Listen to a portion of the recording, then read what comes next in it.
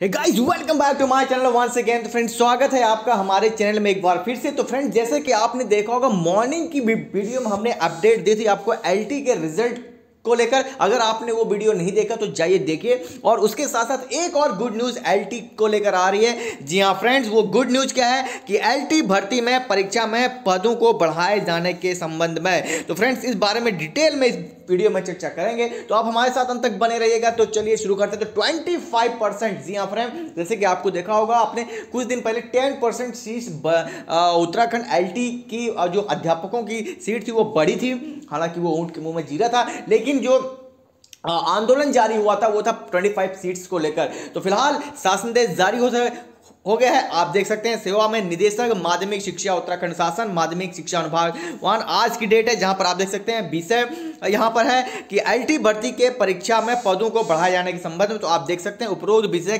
कृपया समस्त एलटी छात्रों को दिनांक रहित पत्र के अवलोकन करने का कष्ट करें जिसके माध्यम से अवगत कराया गया कि अक्टूबर 2020 में एलटी के कुल एक हज़ार चार सौ इकतीस पदों पर सीधी भर्ती हेतु आयोग को अधियासन हुआ था।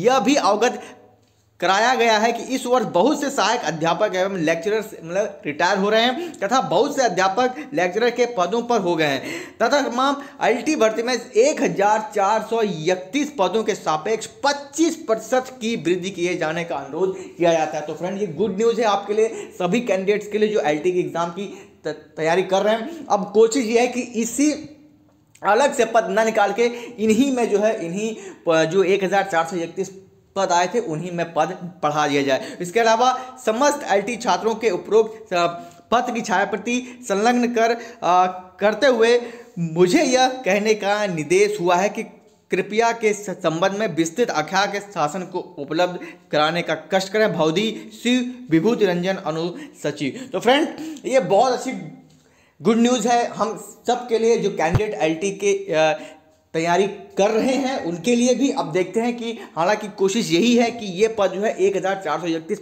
पदों में ऐड होके आए।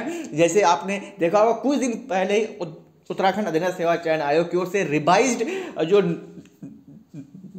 नोटिफिकेशन आया था, उसमें आपने देखा होगा कि टेन परसेंट सीटों की जो है वृद्धि हुई थी, जो कि लगभग लगभग ऊँट के मुँह में जीरे के बराबर था। लेकिन फ़िलहाल जो है, ये ताज़ा खबर है अपडेट निकल के आ, आ रही है कि 25 परसेंट सीट यहाँ फ्रेंड 25 परसेंट सीट वृद्धि जो है आपको देखने को मिल सकती है और जल्द ही इसका नोटिफिकेशन आपको देखने को मिल सकता है। हालाँकि आपने देखा होगा इसी वीक यहाँ फ्रेंड एक सप्ताह के अंदर एलटी का रिज़ल्ट भी आना है। हो सकता है आपको ये दो तीन दिन में ही ये देखने को मिल जाए। बाकी वीडियो अच्छी लगी तो लाइक कर दें कमेंट कर दें सब्सक्राइब कर दें। ऐसी इंटरेस्टिंग वीडियोज़ हम आपके लिए लाते रहते हैं। Thank for watching